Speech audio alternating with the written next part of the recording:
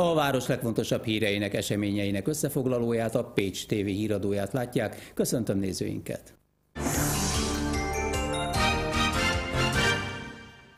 Önkormányzati vitanapot és konferenciát tartottak ma a Városházán a foglalkoztatáspolitikáról.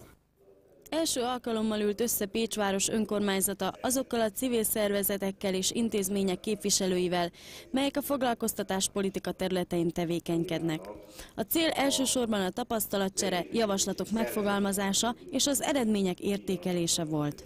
A kiinduló pont az, hogy a modern városnak egyik legfontosabb gondja közé tartozik a lakosság foglalkoztatásának a megoldása. Ismerjük a magyarországi helyzetet, hullámzó a munkanélküliség, az elfoglaltság. Mivel előre kell tekinteni, a legfontosabb tényleg az, hogy az idei évben rendelkezésre álló valamivel több mint 50 millió forintot hogyan tudnánk a leghatékonyabban fordítani a pécsi munkanélküliség csökkentésére.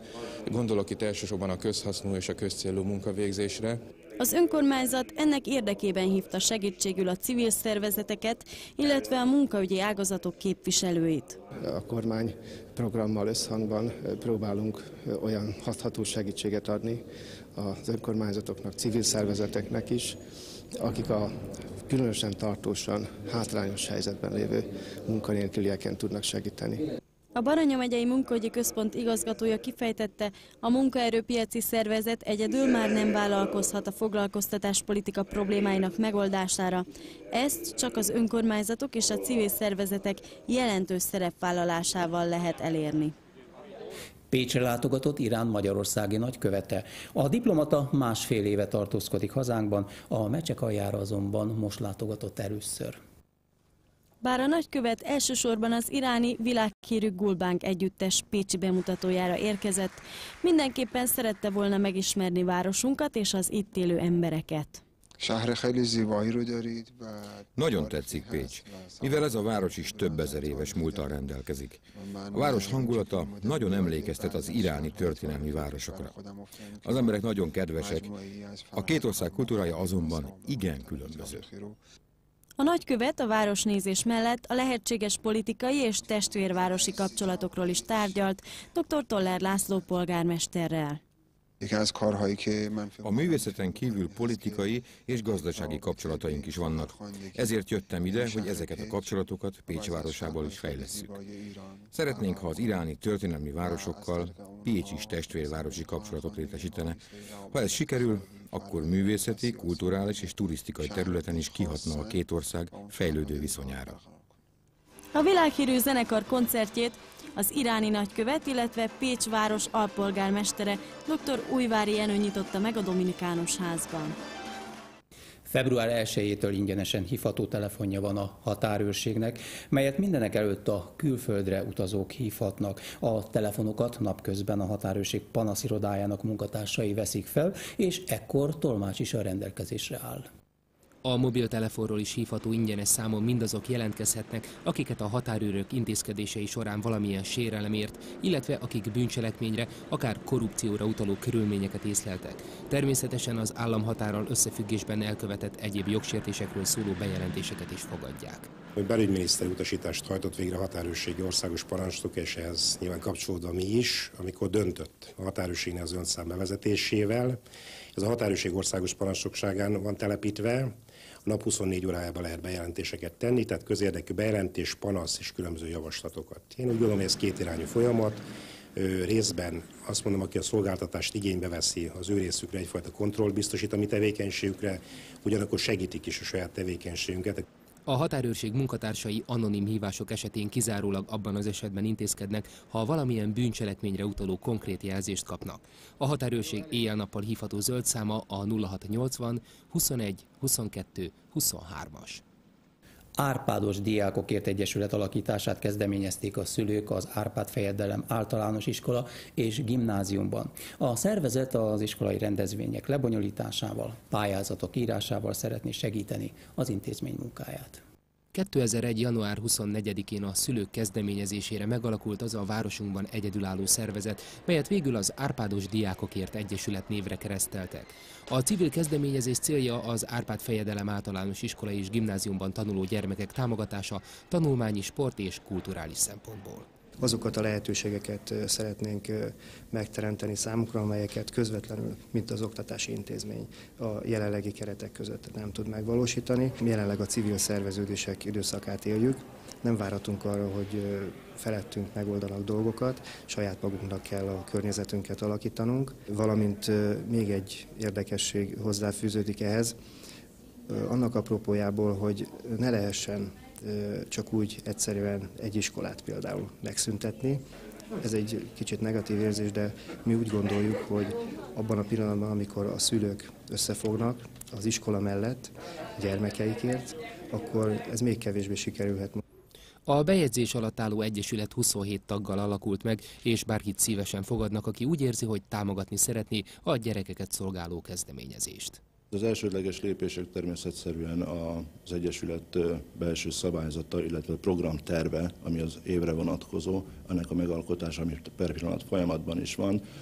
Ezt elsősorban a belső vezetés állítja össze, majd kerül a, az Egyesület elé, akik ezeket jóvá hagyják, elfogadják, és ennek megfelelően indul el maga az egész programtervünk.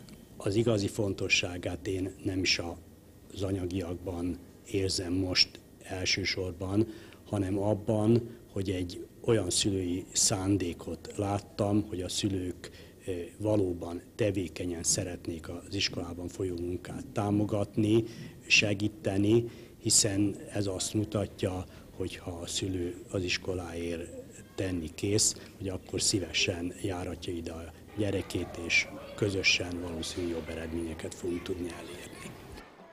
Dr. Benedek Ferenc, professzor emeritus 75. születésnapja alkalmából köszöntötték a Pécsi Tudomány Egyetem állam és jogtudományi karán. Tiszteletére a kollégái emlékkönyvet állítottak össze, melyet az ünnepségen adtak át. Dr. Benedek Ferenc 1964 óta tanít a Pécsi Tudományegyetem állam és jogtudományi karán. A 75 éves professzor emeritus jelenleg is a tudomány és a hallgatók szolgálatában áll. Születésnapi ünnepségén az egyetem vezetősége, kollégái, hallgatói köszöntése mellett a Magyar Köztársasági Elnök Mándl Ferenc üdvözlő levelét is tolmácsolta a kar dékánja.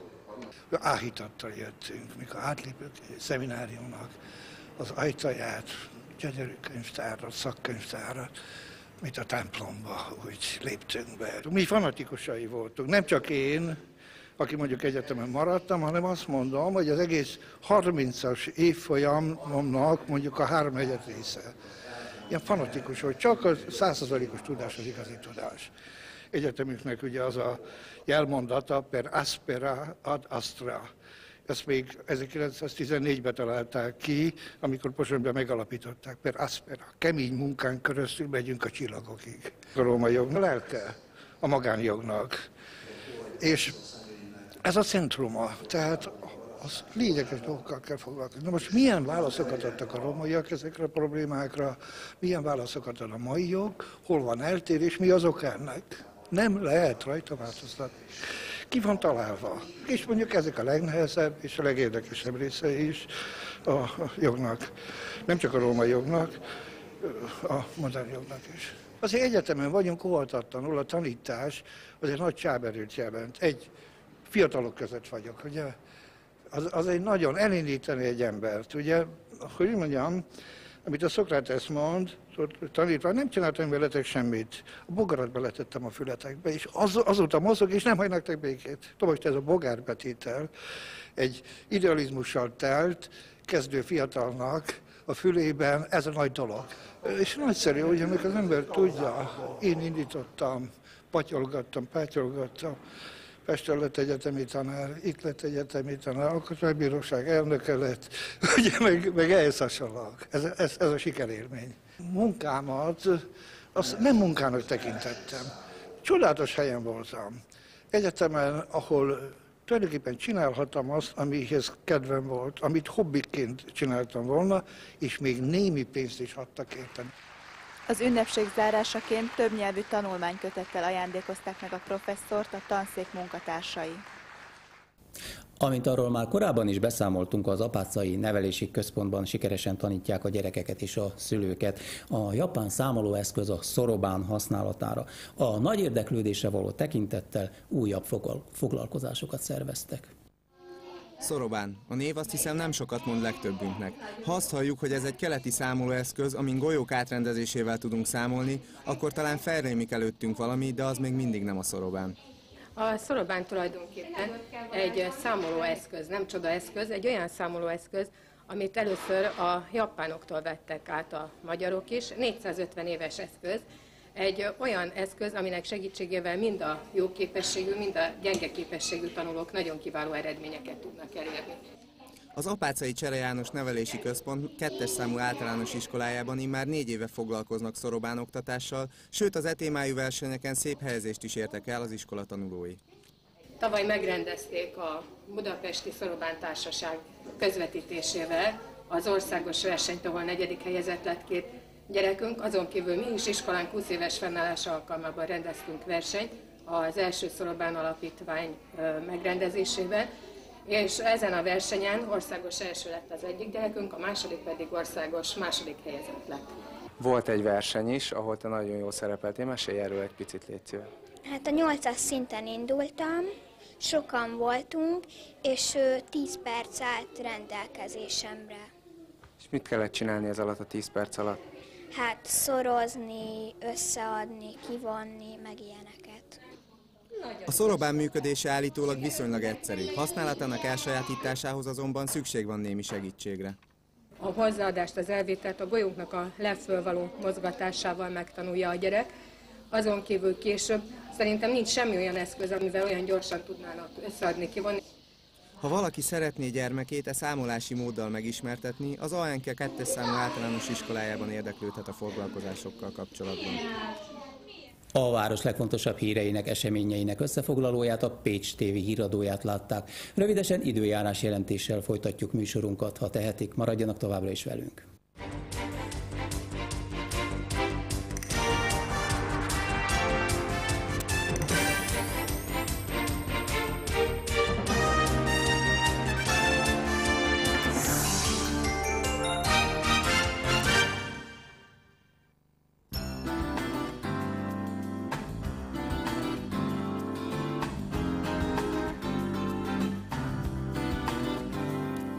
Holnap időnként erősen felhős lesz az ég, elszórtan eső, zápor kialakulhat, a szél kisé megélénkül, a hőmérséklet hajnalban 0 és 5 fok közelében alakul, míg napközben 6-11 fok között várható.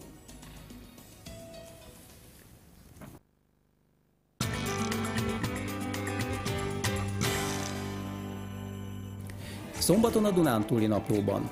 Vádirat a sertés felvásárlók ellen. Az állattenyésztő szférában jelentkező válságot kihasználva egy pécsi székhelyű KFT alig 5 hét alatt 75 millió forint értékű sertést, szarvasmarhát vásárolt fel, halasztott fizetési határidővel baranyai, somogyi és tolnai gazdáktól, tudva, hogy soha nem fogja kifizetni. A vádlottak rövid időn belül bíróság elé állnak. Név nélkül is beazonosítható a válaszadó. A népszámlálás kapcsán többen tartanak attól, hogy a munkahelyre vonatkozó adatok alapján beazonosíthatók lesznek. A hivatal elnöke hangsúlyozta, a félelem alaptalan. A munkahelyre vonatkozó adatokra azért van szükség csupán, hogy a hazai vállalkozások tevékenységi köre azonosítható legyen. Részletek a szombati Dunántúli naplóban.